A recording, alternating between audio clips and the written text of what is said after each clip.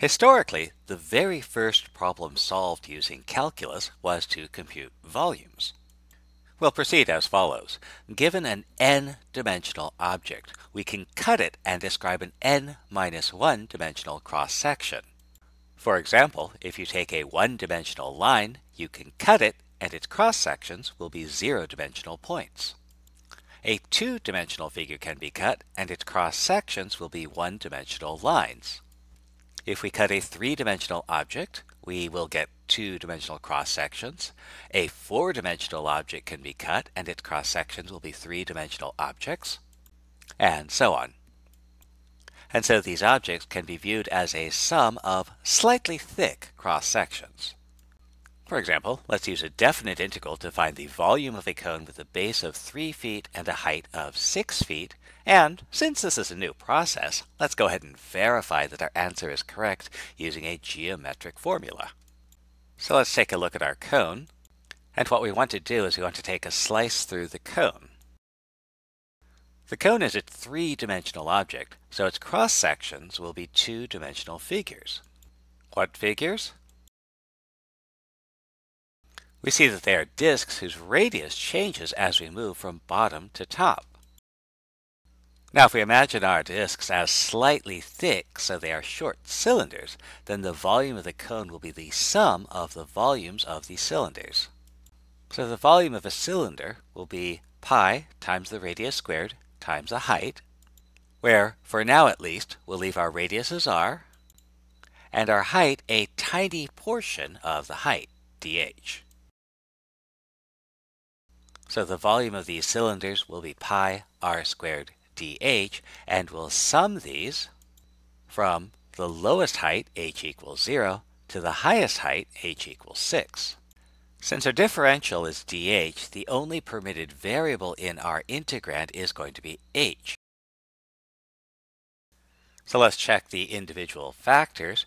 Pi is a constant, so we don't have to worry about that, but r, the radius, does change.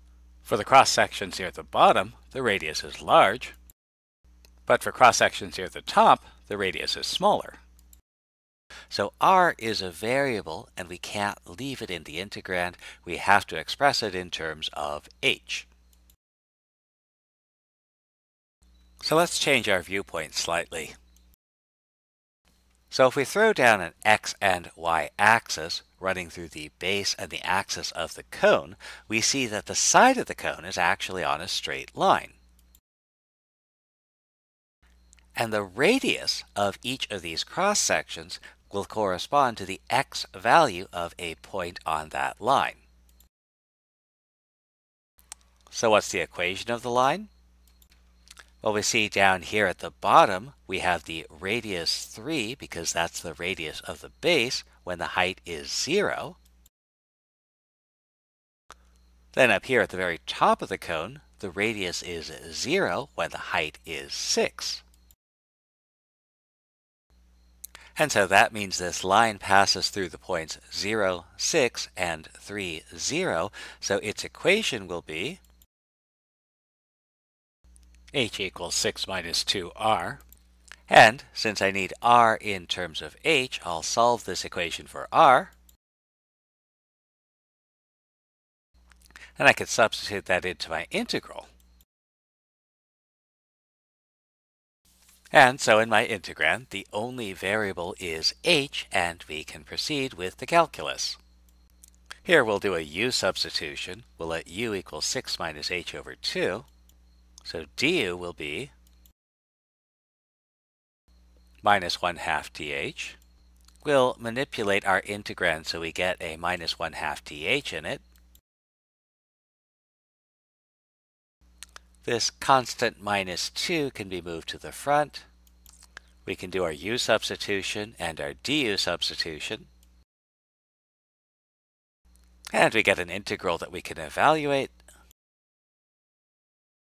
And putting everything back where it belongs, we get our antiderivative. Evaluating the antiderivative gives us our final volume, 18 pi.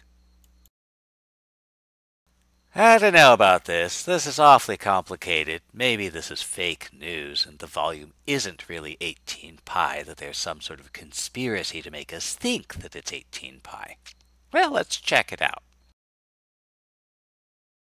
We do have a volume formula for a cone. Volume equals 1 third pi r squared h, so we can calculate the volume directly. We know the radius of the cone, we know the height of the cone, so we'll substitute those into our volume formula. And find that we do get 18 pi as our volume.